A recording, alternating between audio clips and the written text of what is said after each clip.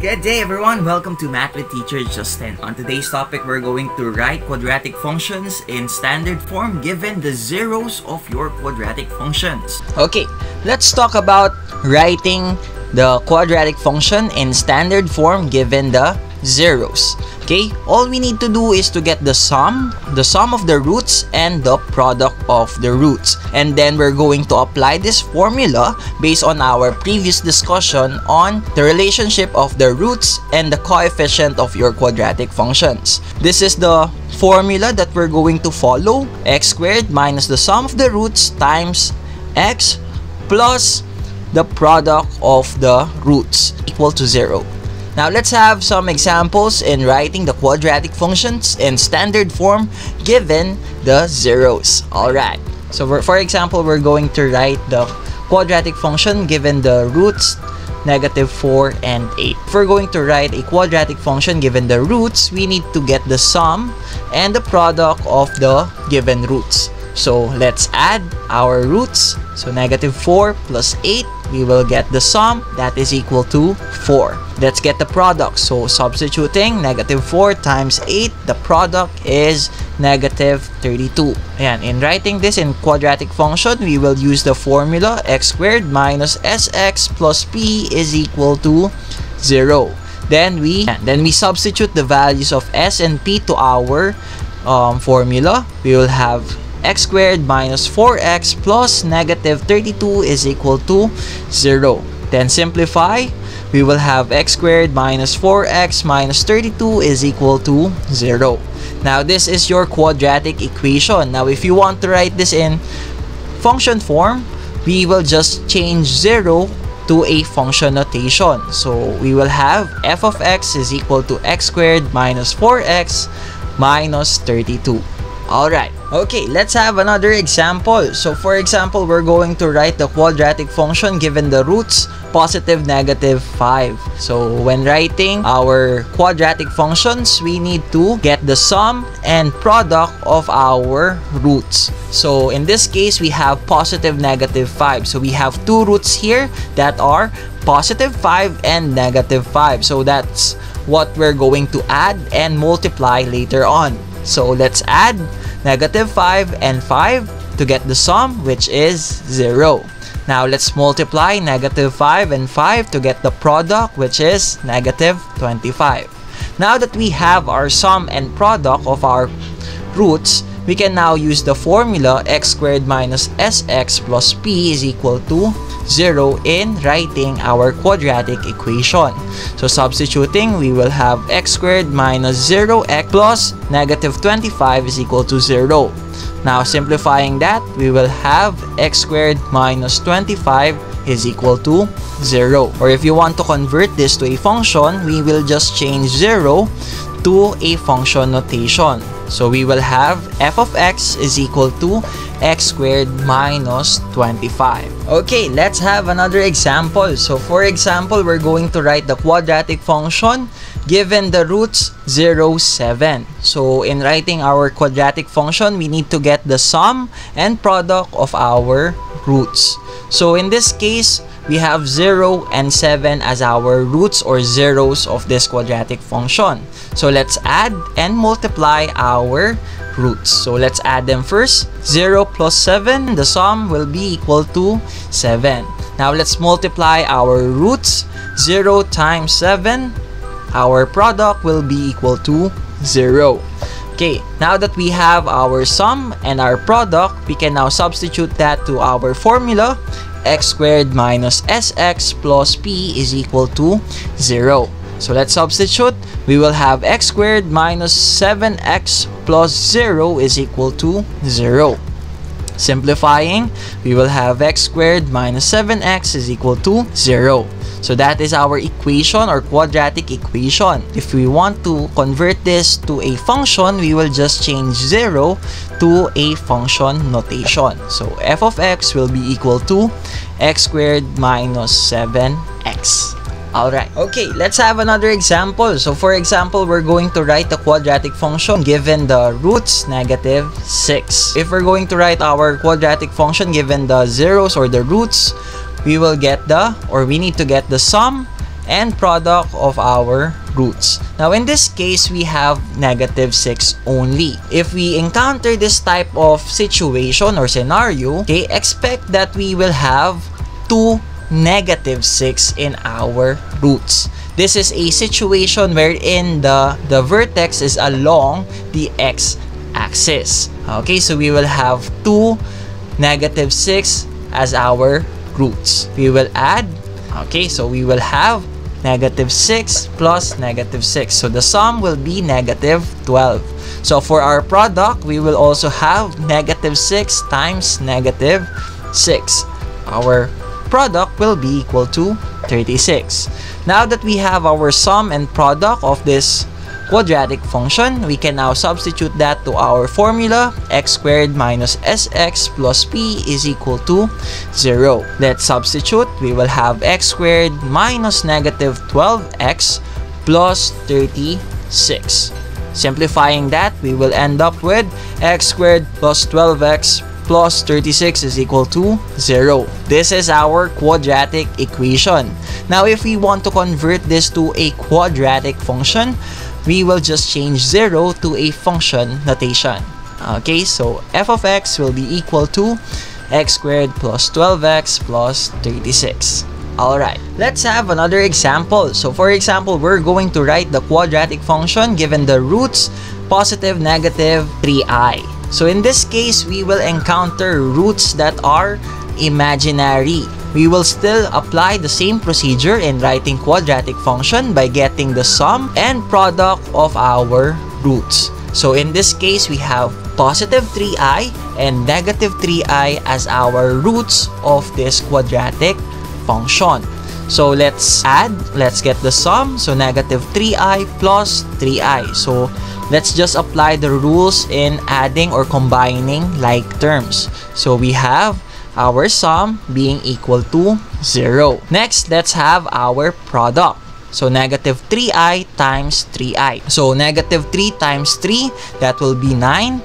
i times i will be i squared. So, our product will be negative 9i squared. But take note, i squared will be equal to negative 1. So take note that our i is equal to the square root of negative 1. So squaring that, we will just cancel out the radical symbol and the square. Okay, so the value of i squared will always be equal to negative 1. Okay, so we will have negative 9 times negative 1. Our product will be equal to 9. Okay, now that we have our sum and product of our roots, we can now substitute that to our formula x squared minus sx plus p is equal to 0. Okay, so substituting the value, we have x squared minus 0x plus 9 is equal to 0. Simplifying that, we will have x squared plus 9 is equal to 0. Now, if we want to convert this quadratic equation to a function, we will just change 0 to a function notation. So we will have f of x is equal to x squared plus 9.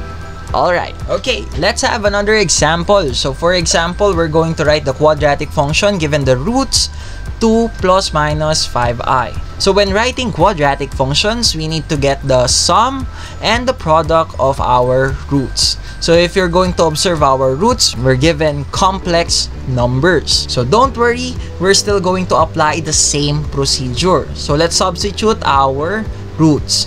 We have 2 minus 5i plus 2 plus 5i. So in this case, we're just going to apply combining like terms. So 2 plus 2, negative 5i plus 5i. So the sum will be equal to 4. Next, let's move on to our product. So let's multiply 2 minus 5i and 2 plus 5i. Now take note that we're multiplying conjugates here. Now if you can still recall, in multiplying conjugates, we square the first term minus the square of the last term. So let's simplify, we will have 4 minus 25i squared. Okay, take note, i squared is equal to negative 1.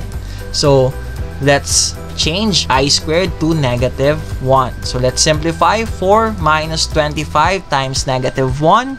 Negative 25 times negative 1, that will be equal to positive 25. So combining like terms, we will have our product that is equal to 29.